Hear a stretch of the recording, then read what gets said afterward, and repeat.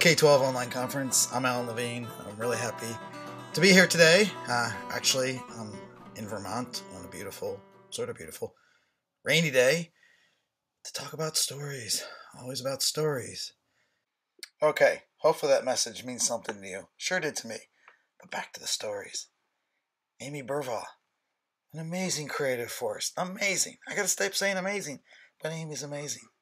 In just black, pink, and white what she draws and what she shares. She just give me one story. She gave me ten. Ten stories. And they're all they're all worth listening to.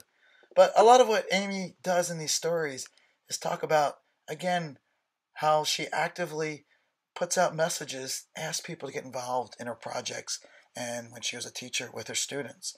And so I'm just going to put one story in here of how Amy was teaching her students and they were listening to TED Talks and her practice of having her students do back channel conversations about the speakers during these videos.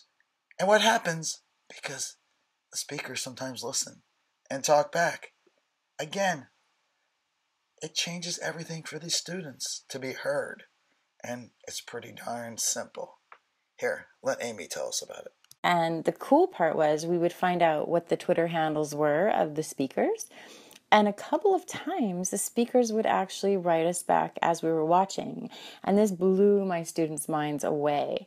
Um, uh, Doug Rushkoff wrote us, I know, and Jon Ronson, who is brilliant and did one of my favorite TED Talks about uh, strange answers to the psychopath test.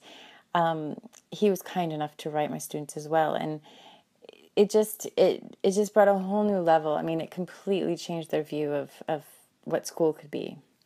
Ken Bauer, originally from Canada, but being a teacher in Mexico for the last 20 years, tells some great stories about both the influence of people suggesting him to try new things and also what happens when he takes that as a leverage to go out and create connections with other people. Later that same year, I ran into Jon Bergmann, uh, one of the pioneers in flipped learning at our main campus in Monterrey. Had a great talk with him, and he said, Ken, you know, you, you, you can need to like stir up flip learning here in Mexico. So, so I thought, oh yeah, I'll, I'll create a private Facebook group and, and, and for our people here at the tech. And he said, no, no, no, you got to be public. You got to open this up to everyone. And you need to be the leader in, in, in Mexico for flip learning. So, and you know what? One thing leads to another, like a chain reaction. Ken gets involved in flip learning. He goes to conference. He meets a teacher educator named Brian Bennett. Brian Bennett's involved in DS 106. Ken gets involved in DS106 meets Jim Groom and myself and Brian Lamb.